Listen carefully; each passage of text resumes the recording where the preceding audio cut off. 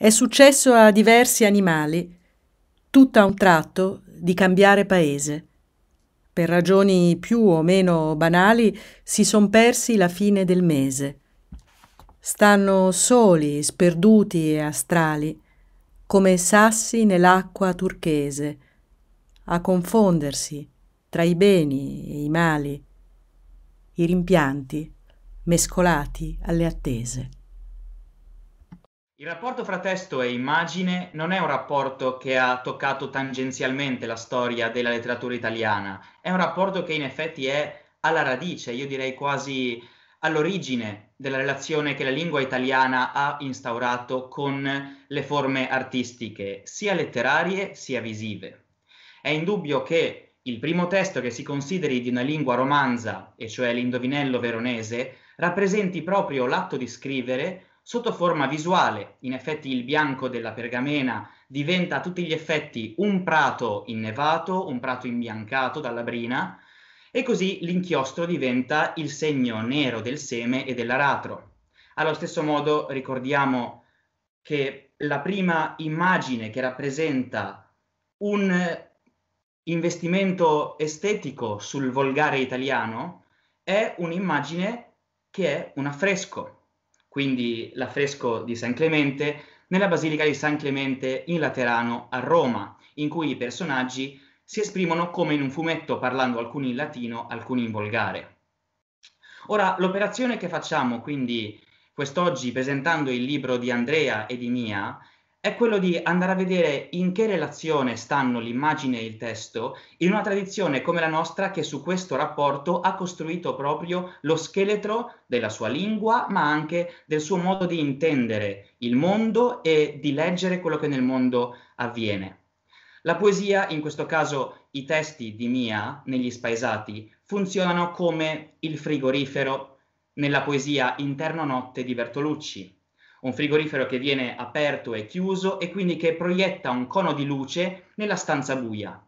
La poesia di Bertolucci, che si chiama Interno Notte, rappresenta una sorta di camera oscura, e allora noi, aprendo il libro illustrato degli spaesati, ci comportiamo proprio come un personaggio che di notte apre al frigorifero e in questo modo, proiettando una luce sulla stanza in cui vive, rappresenta il fatto di vedere nella notte quello che è possibile guardare al di là della porta chiusa della copertina, del frigorifero o in questo caso di un fenomeno che invece è iperrappresentato medi- mediaticamente e che il testo di Spaesati prova a rileggere in una chiave che è eminentemente visiva ed è per questo che necessita di risemantizzare le parole, le filastrocche.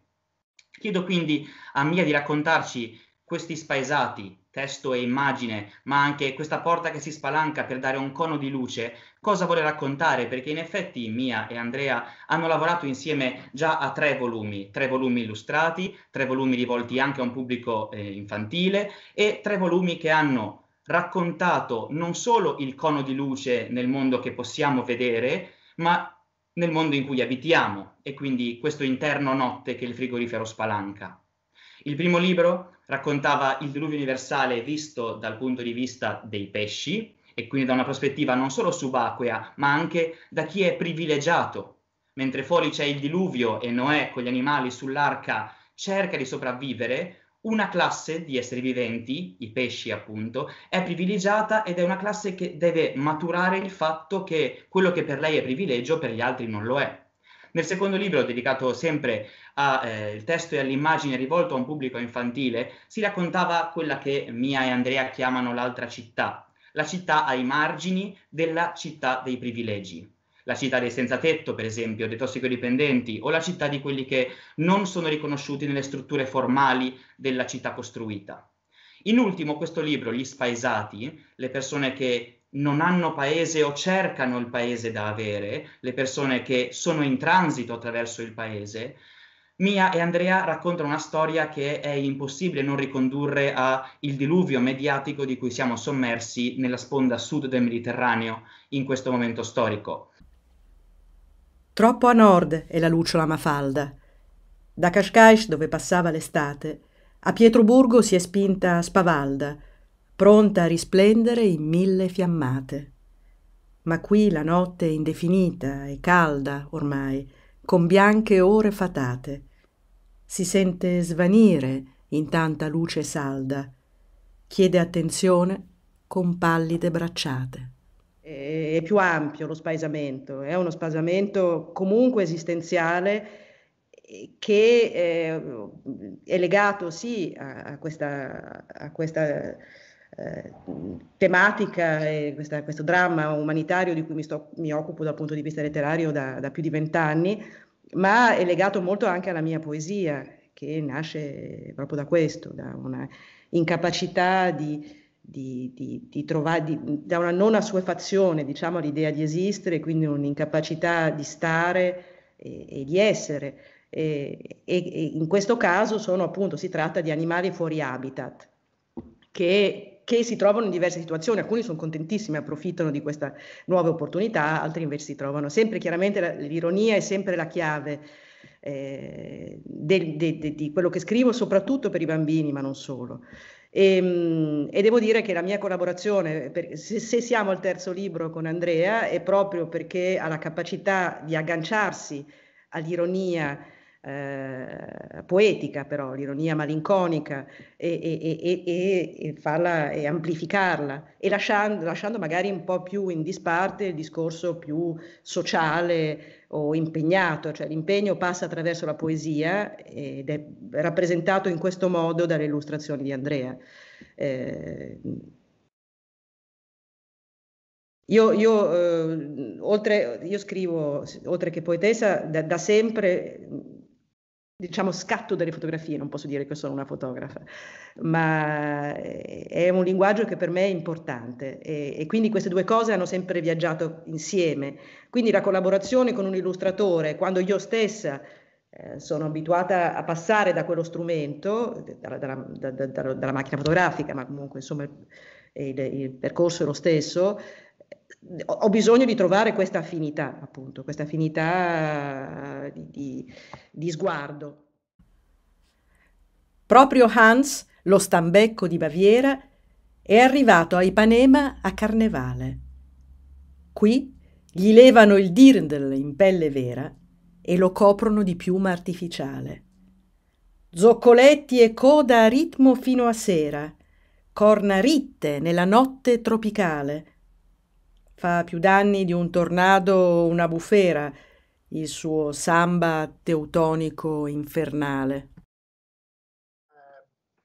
con, Mia, con Mia abbiamo collaborato sia lui a tre libri, è sempre stato un piacere eh, ed è, è stato attraverso anche la, la realizzazione delle illustrazioni dei testi di Mia che ho preso coscienza di quanto il mondo eh, della poesia eh, sia vicino a quello dell'illustrazione dell'illustrazione dell'immagine, eh, in quanto mi sono accorto che entrambi i linguaggi, sia quello dell'illustrazione che quello della poesia, agiscono sulla fantasia del lettore, dell'osservatore, sotto forma di suggestioni, di evocazioni. Eh, di conseguenza sono due linguaggi eh, apparentemente diversi, ma in realtà eh, che funzionano in maniera molto simile. Eh, è ovvio che eh, io partendo da dei versi, da delle poesie, da un testo scritto, quindi ha già una ricca risorsa eh,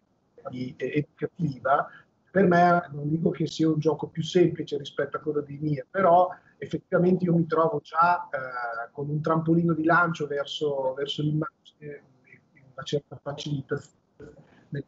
illustrazioni. Come mi ho cercato di concentrare suoi messaggi, il contenuto dei, dei suoi versi attraverso anche parole, ma ben ponderate scelte, allo stesso tempo ho cercato anche di distillare l'immagine attraverso una scelta caso ragionata, ponderata dei, dei, colori e delle forme. Quindi ho cercato di andare a, a non dico a impoverire l'immagine degli orpelli e di quelle che sono le caratteristiche che definiscono l'immagine nel particolare, ma sicuramente ho cercato di cogliere l'essenzialità. E, e, attraverso il colore di, di, di, di poter offrire appunto quell'evocazione, quella suggestione, quindi il colore, la scelta di, contesti che ovviamente offriva di volta in volta, di oggi sempre diversi, di cercare in questo caso di offrire degli abbinamenti cromatici e delle scelte compositive che potessero, diciamo,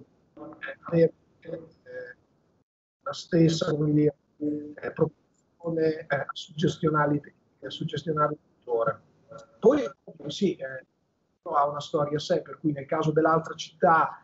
eh, non abbiamo potuto sfruttare i protagonisti eh, animali, che ovviamente era stata la nostra prima intenzione, ma ovviamente trattandosi diciamo, di una parte della società eh, che viene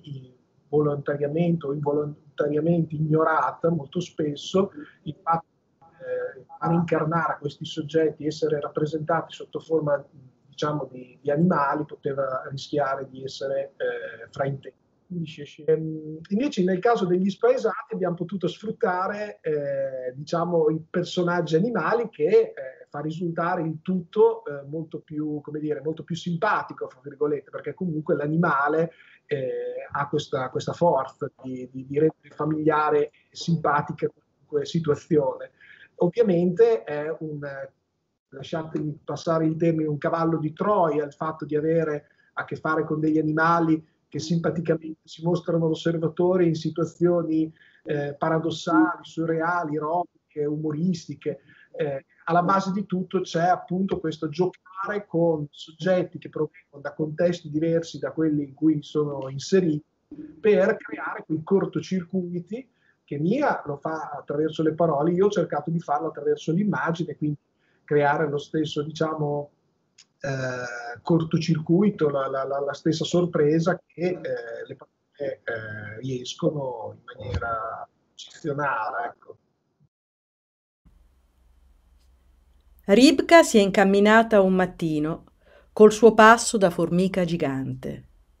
Dal Burundi se l'è sudata un pochino, ma è giunta infine nel sollevante. Il formicaio qui è troppo piccino, non riesce a stendersi neppure un istante. La testa nera spiaccicata al bacino rumina il sushi in kimono sgargiante.